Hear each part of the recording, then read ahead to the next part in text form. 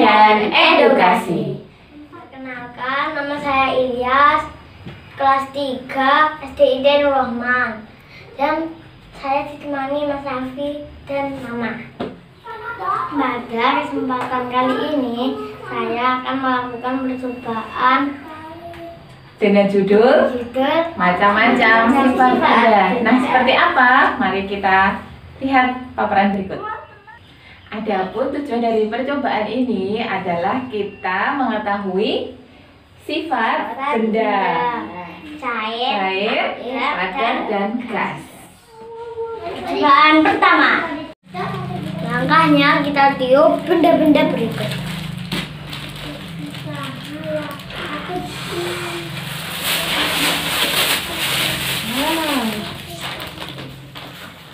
Dari percobaan ini kita dapat menyimpulkan bahwa sifat benda gas yang pertama apakah sifatnya kak?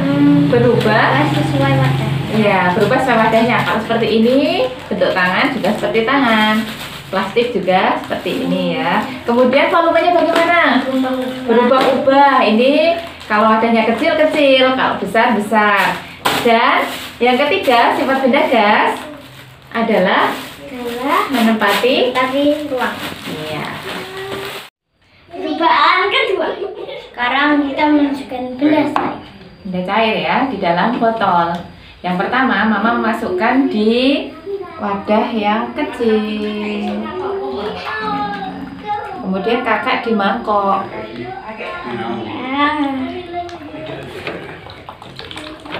Ya, Mas Raffi di gelas.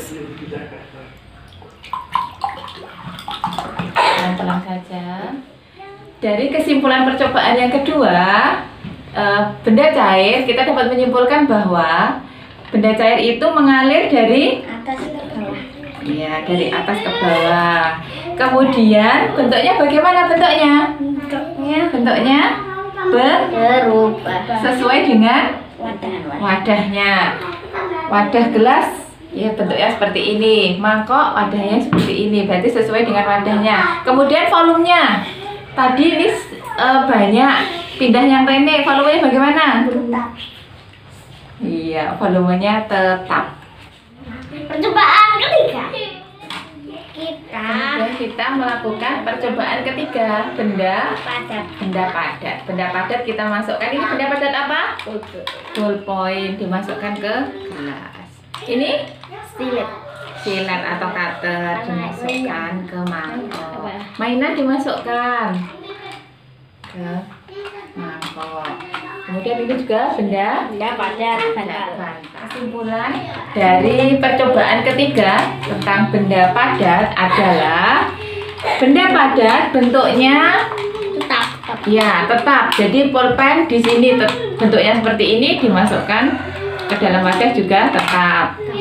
Kemudian mainan juga tetap seperti ini. Kita pegang, kita taruh di mana-mana juga seperti ini. Bantal pun juga seperti itu ya Mas Raffi ya. Bentuknya tetap. Kemudian volumenya, enggak. Volumenya? Volumenya bagaimana volumenya? Ya. Volumenya juga juga tetap. Volumenya juga tetap seperti ini. Sekian percobaan dari kami. Ingat pesan ibu ya. Memakai masker, mencuci tangan, dan menjaga jarak. Semoga bermanfaat. Wassalamualaikum warahmatullahi